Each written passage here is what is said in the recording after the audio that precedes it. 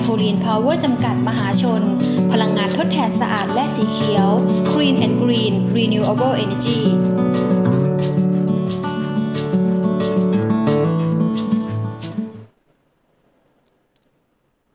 สวัสดีครับท่านผู้ชมครับ แล้วก็สวัสดีท่านที่ติดตามรายการผ่านทาง Facebook Live ด้วยนะครับ ขอต้อนรับเข้าสู่รายการ ส่องหุ้นครับ วันนี้สถานการณ์ตลาดไม่ดีเลยครับ ราคาสุดลง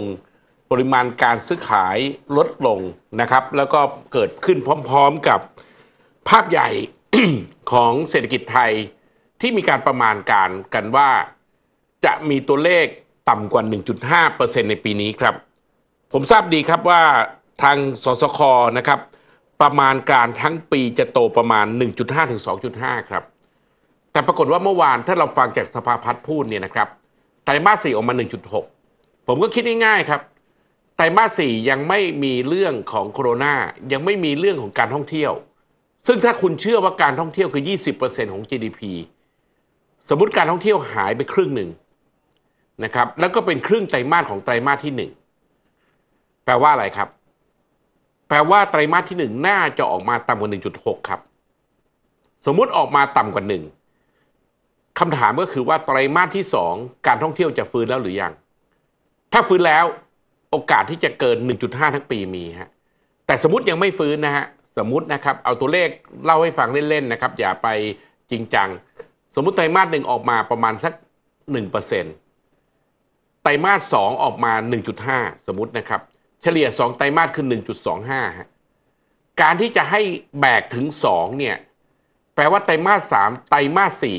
4จะต้องโตประมาณ 2.75 ครับ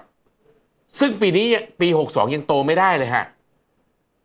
ปี 62 ยังโตไม่ได้เลยครับ ไม่น่าจะเป็นไปได้ครับ ยกเว้น การท่องเที่ยวฟื้นตัวช่วงสงกรานต์ซึ่งตอนนี้หลายคนเชื่อว่าไม่เกิดขึ้น เร็วสุดคือเดือน 7 หรือเศรษฐกิจโลกฟื้นตัวทำให้การส่งออกไทยดีขึ้น ตั้งแต่กลางปีไอันนี้คือตัวแปรจริง เพราะฉะนั้นเมื่อเรามาพูดเรื่องเศรษฐกิจโลกเนี่ย ตอนนี้ตัวแปรของเศรษฐกิจไทยหรือความหวัง ผมไม่รู้ใช้คำว่าตัวแปรหรือความหวังนะมันกลับกลายว่าต้องไปดูว่าเศรษฐกิจโลกฟื้นตัวเมื่อไหร่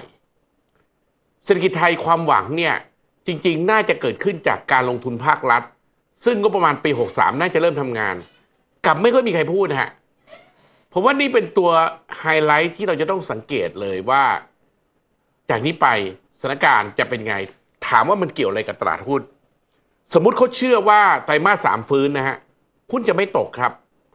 เพราะหุ้นเขาจะมีการตอบสนองล่วงหน้าอย่างน้อย 6 เดือน แต่ถ้าเขาเชื่อว่า6เดือนไตรมาสสามไม่ฟื้นเนี่ยนะฮะหุ้นจะตกอีกครับ ผมว่านี่คือตัวแปร อีกเรื่องหนึ่งที่น่าสนใจนะครับ วันนี้คลมอไฟเขียวเรื่องขยายสัมปทานทางด่วน 15 ปี 8 เดือนนะครับแลกกับข้อยุติของการทางกับ BEM ก็ไปว่ากันไปฮะว่าจริง ๆ แล้วมีหลายคนประเมินยังไง แต่ BEM โดยรวมแล้วน่าจะเป็นบวก ไม่ก็ไม่ไม่น่าจะเป็นลบ โชคดีนิดหน่อยครับ วันนี้ไม่มีเรื่องของหยุดสงการ9วันฮะอย่างที่ผมเล่าให้ฟังและผู้พยายามพูดหลายครั้ง คุณจะยอมหยุดยาวเนี่ยจะไปอ้างว่าเกลี่ยมาจากที่อื่นก็แล้วแต่ ต้องมีตัวเลขให้ดูครับว่าสิ่งที่มีผลบวกเนี่ย มันเยอะกว่าผลลบยังไง ไม่ใช่แถบอกว่าผลบวกว่านักท่องเที่ยวเยอะขึ้น คนใช้เงินเยอะขึ้น แต่ไม่เคยเอาข้อมูลที่เป็นผลลบมานั่งคุยกันเลย ข้อมูลที่เป็นผลลบหลายตัวเลขไม่เคยมีการเก็บนะครับ เช่นวันหยุดยาวๆเนี่ย productivity ของ SME หายไปเท่าไหร่ ถ้าคนที่มีอำนาจและคิดถึงเรื่องวันหยุดยาวเนี่ยนะครับ และเคยเป็นมนุษย์เงินเดือนนะจะเข้าใจฮะจะเข้าใจฮะเคยได้ยินเรื่องวันหยุดฟันหลอไหมฮะ เคยได้ยินเรื่องหยุด สมมติหยุดเสาร์อาทิตย์แล้วไปหยุดอีกทีวันอังคารแล้ววันจันทร์ก็โดดกันไหมฮะ เคยได้ยินไหมครับ เคยได้ยินการทำงานวันศุกร์ก่อนหยุดยาวไหมครับ ว่าสถานการณ์เป็นยังไง เคยได้ยินการทำงานวันแรกหลังจากหยุดยาวมาไหมครับ ว่าสถานการณ์เป็นยังไง คือถ้านอาจจะบอกโอ้โหไม่เห็นเรื่องยากเลย ก็รู้ว่ามันเป็นยังไง ลองไปวัดดูสิครับ ลองเข้าใจเหตุผลจริง ๆ โชคดีนะฮะ วันนี้ไม่มีเรื่องการวันหยุด 9 วันออกมา เพราะถ้า 9 วันคราวนี้มันจะไม่ใช่เป็น 9 วันนะฮะ ถ้าหยุด 3 วันคราวนี้คุณได้เกือบ 20 วันครับ เพราะมันจะมีหยุดฟันหลอไปสามวันถ้าผมจำไม่ผิด โอเคครับ ไม่เป็นไร แต่ว่าเท่าที่ดูเรื่องวันนี้ที่เรื่องใหญ่ๆเกี่ยวกับคลมเนี่ยนะครับ ก็คือเรื่องการขยายสัมปทานทางด่วน ซึ่งนี่น่าจะเป็นเรื่องใหญ่สุดนะครับ น่าจะเป็นเรื่องใหญ่สุด อีกเรื่องหนึ่งสิ่งที่จะต้องจับตาเนี่ยนะครับก็คือการใช้มาตรการการเงินการคลังจะเกิดขึ้นอีกหรือไม่ นี่เป็นตัวแปรสุดท้ายแล้วครับ เมื่อกี้ผมเล่าเรื่อง GDP ให้ฟัง นอกจากความหวังของเศรษฐกิจโลกแล้วเนี่ยการกระตุ้นเศรษฐกิจในประเทศ ตอนนี้ภาครัฐต้องใช้ทุกส่วนในการออกมากระตุ้นแล้วครับ เพราะว่าการท่องเที่ยวซึ่งเคยเป็น 10กว่าเปอร์เซ็นต์20เปอร์เซ็นต์ของ GDP เนี่ยปีนี้เหนื่อยนะครับปีนี้เหนื่อย แต่เรียนอย่างนี้นะไอ้คำว่าเหนื่อยเนี่ย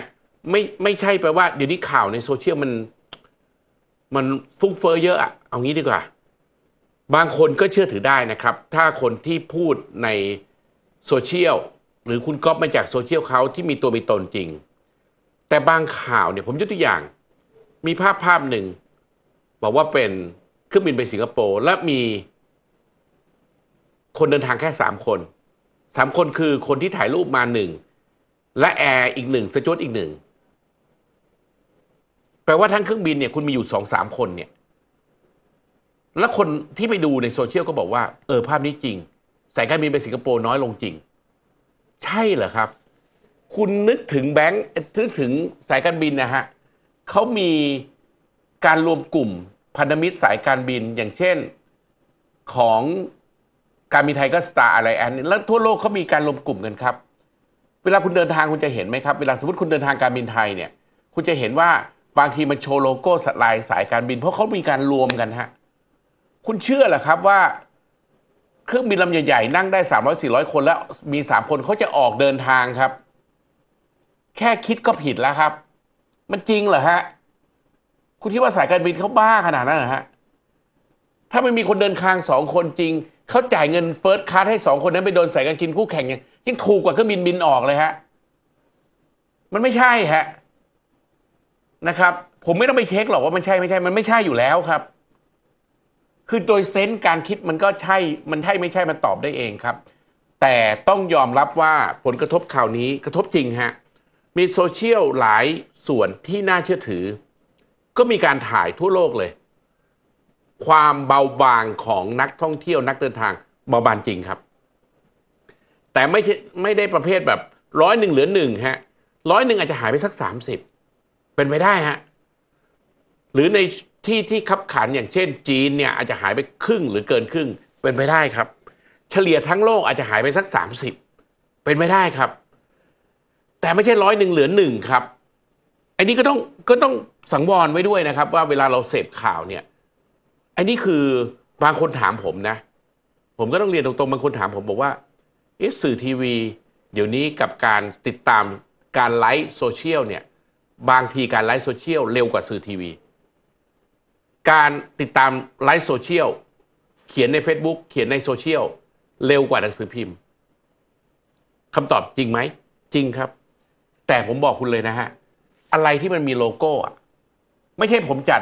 ทีวีหรือเคเบิลทีวีแล้วผมมาเชียร์นะ อะไรที่มีโลโก้เขาจะรับผิดชอบฮะมันกันกรองได้ครับ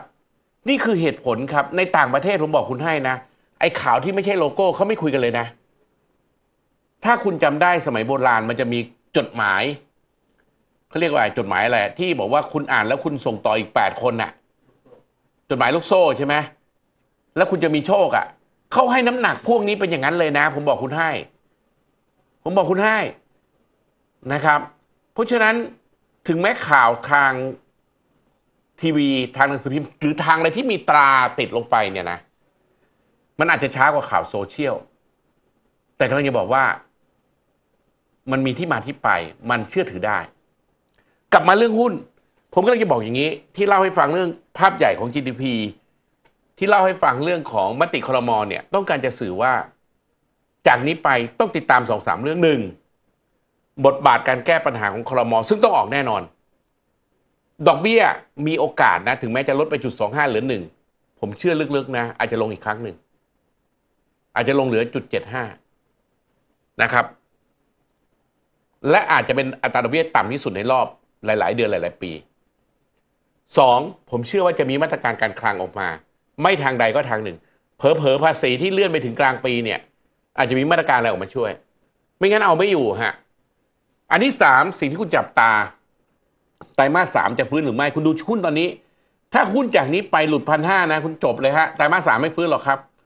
ถ้าหุ้นแถวนี้ยืนได้เนี่ยนะฮะไตรมาสสามมีโอกาสฟื้นครับ สงการตอนนี้ไม่ต้องมองแล้วฮะเอาละครับท่านผู้ชมครับ เรามาดูตัวเลขการลงทุนของตลาดหุ้นวันนี้ครับSET Index วันนี้นะครับ ปรับตัวลดลงไป 13.57 จุด 1,513.68 49,275 ล้านครับสิบอันดับที่มีการซื้อขายสูงสุดนะครับอันดับ1 BAM นะครับ rebound ขึ้นมาบวกไป 1 บาท 25 สตางค์ผู้บริหารชี้แจงมาบอกว่า เรื่องลดเรตติ้งไม่มีผลนะครับ อันดับ2 AOT ลงไป 75 สตางค์ อันดับ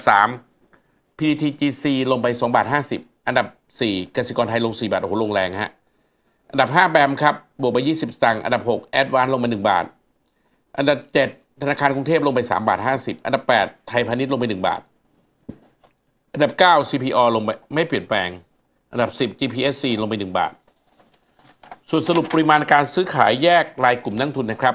สถาบันในประเทศขาย 2,505 ล้าน บัญชีบริษัทหลักทรัพย์ซื้อ 1,545 ล้าน ต่างชาติขาย 2,444 ล้าน นักลงทุนในประเทศซื้อ 3,404 ล้าน ตลาดหุ้นในแถบเอเชียวันนี้ลงหมดนะครับ คืนที่ผ่านมาสหรัฐอเมริกาปิดนะครับ เอเชียวันนี้ลงส่วนหนึ่งเพราะ future ดาวโจนส์ลงด้วยนะฮะ ลงตลอดทั้งวันเลยนิกเคอิลงไป 1.4%ฮั่งเส็งลงไป 1.5% Straits Times ลงไป 0.51%จาการ์ตาบวกนะฮะ 0.33% โซล Composite เกาหลีใต้ลบไป 1.4%ไต้หวันลงไป 0.97%ครับ มาดูดาวโจนส์ฟิวเจอร์ครับ ยังลงตลอดทั้งวันครับ และล่าสุดยังลบอยู่ 150 จุดครับได้เยอรมันครับ ลงไปจุด68% CAC 40 ล่าสุดตอนนี้ลงไปจุด37%ฟุตซี่ร้อยลงไปจุด77%ราคาทองคำครับ ทองคำแท่ง96.5 ซื้อเข้า 23,350 ขายออก 23,450 ครับ ราคา น้ำมันจะขึ้นจะลงไหมเตรียมขึ้นอีกแล้วนะครับ แต่ขึ้นเฉพาะดีเซล 30 สตางค์นะครับ วันพรุ่งนี้ครับ บาทต่อดอลลาร์ตัวเลขล่าสุด 31.21 บาทต่อดอลลาร์ครับเอาละครับท่านผู้ชมครับ เดี๋ยวเราจะพักกันสักครู่นะฮะช่วงหน้าจะกลับมาคุยเกี่ยวกับการวิเคราะห์ทางเทคนิคประเมินยังไง สักครู่กลับมาครับ